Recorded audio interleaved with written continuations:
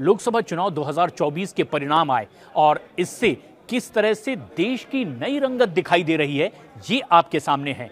ये है देश का नक्शा और ये नक्शे में जो भरे हैं रंग, ये हैं 2024 के परिणामों के रंग, जो इस वक्त आप देख पा रहे हैं।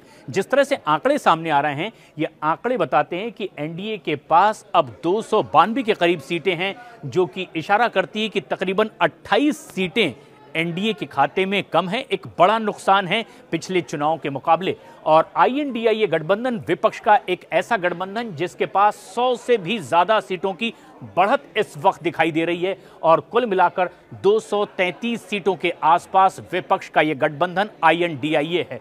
अगर इसे अलग अलग करके देखने की कोशिश करें तो एनडीए के पास में इस तरह से अट्ठावन सीटों के घाटे के साथ बीजेपी के पास 250 से भी कम सीटें आती हुई दिखाई दी है इस परिणाम में, और ये 241 के आसपास है।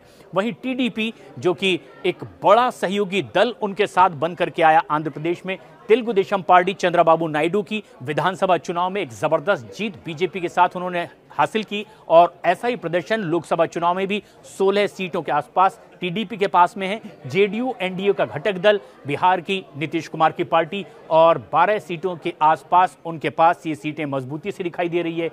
शिवसेना का वो शिंदे गुट, जो महाराष्ट्र में सरकार चला रहा है, बीजेपी के साथ छह सीटें के आसपास।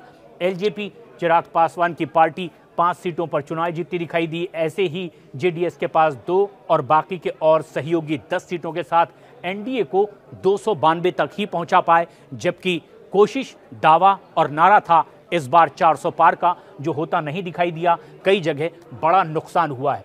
लेकिन इसकी वजह से किस तरह का फ़ायदा आईएनडीआईए गठबंधन को हुआ, जिसकी वजह से ये रंगत बदली दिखाई दी, इस पर भी आप गौर करिए।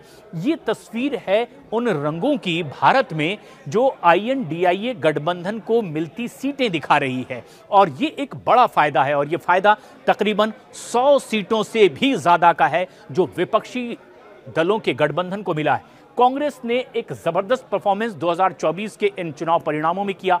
तकरीबन निन्यानवे सीटों के आसपास वो जीतते हुए दिखाई दे रहे हैं इस देश भर में और इस नीले रंग के साथ में देश के अलग अलग इलाकों में उनकी जीती हुई ये सीटें हैं। समाजवादी पार्टी ने उत्तर प्रदेश में ज़बरदस्त परफॉर्मेंस की। 36 सीटें वो यहाँ जीतते दिखाई दिए। आईएनडीआईए के घटक दल के तौर पर। टीएमसी जो साथ में तो नहीं लड़ी बंगाल में, लेकिन वो विपक्ष की भूमिका में नरेंद्र मोदी के खिलाफ चुनाव लड़ते दिखाई दिए थे। उनतीस सीटें उन्होंने जीती। दक्षिण में डीएमके के पास 22 है और S H S U B T दस सीटें। एनसीपी शरद चंद्र पवार की जो टूट चुकी थी, लेकिन शरद पवार ने अलग निशान के साथ में चुनाव लड़ा और ये सात सीटों पर जीतते दिखाई दिए। कुछ और ऐसे ही घटक दल इनके साथ ही साथ में 30 सीटों पर हैं। कुल मिलाकर के 104 सीटों से भी ज़्यादा की बढ़ोतरी आईएनडीआईए के साथ, और इस तरह से ये आंकड़ा 233 के आसपास जाता दिखाई देता है।